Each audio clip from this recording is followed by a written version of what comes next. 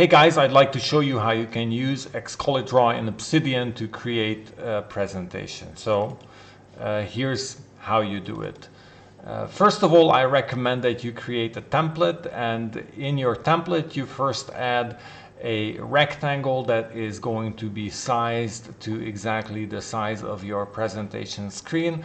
This is going to help you in positioning objects and knowing what fits on the screen and what does not.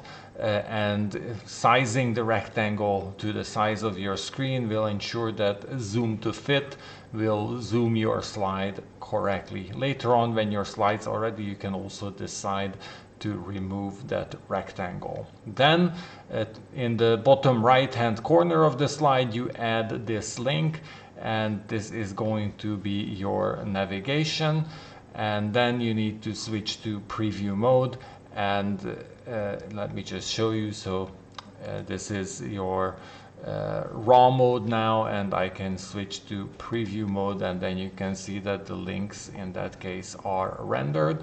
And then if you click uh, the more options menu and you go over to the markdown view then you should add this uh, additional command or setting to your front matter uh, link pre prefix uh, equals an empty string.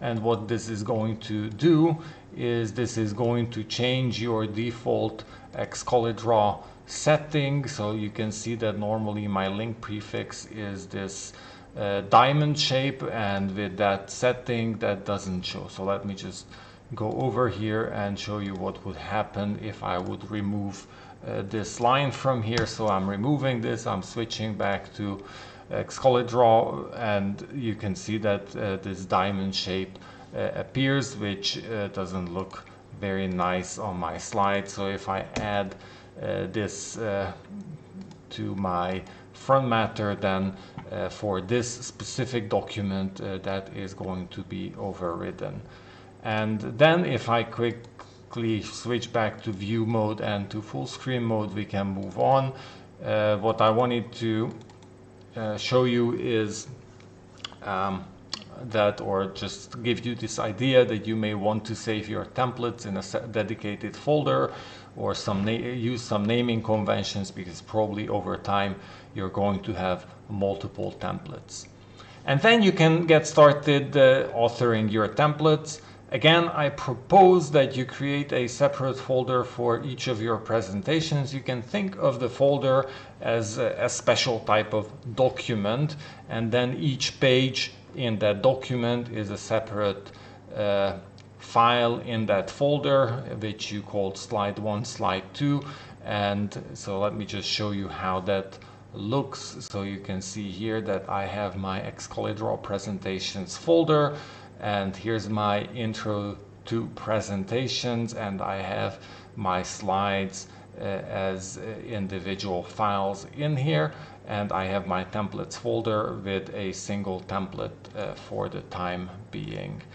And then uh, you can use, uh, make a copy uh, in the file manager to uh, add additional slides to your presentation. And in terms of presentations, you have two options. One, you can uh, present directly from Excalidraw and you saw how I do, did it. Uh, I went to the first slide, of course, clicked full screen, uh, switched to uh, view mode. So this is view mode, the shortcut is Alt-R and then I'm using the navigation button in the bottom right. If you set up a hotkey for back and forward navigation, uh, then you can use that hotkey to move back in your slides uh, using simply the Obsidian feature to uh, move between uh, documents or move to documents in your history.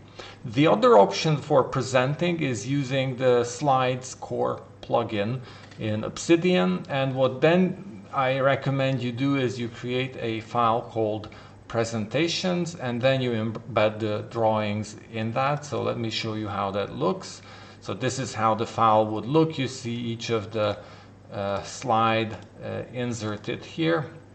You can also see that I'm sizing each of the slides uh, at 100%. So you see slide one, the pipe character and the 100%, and uh, then this goes until slide seven. So if I now switch over to uh, presentation mode, then you can see, well, here's the message first that uh, what I do is I also apply a minor CSS uh, tweak. So this is a CSS snippet uh, I added uh, to uh, Obsidian for slides. This is the simple comment and this will ensure that when I present my slides then uh, each of the slide will show, show uh, full screen uh, like this. I'm going to show you in a moment how it looks if I turn this off but overall you can present uh, your slides like this and uh, enjoy the end result. And then finally let me just show you what happens if I turn off my uh, CSS snippet for slides.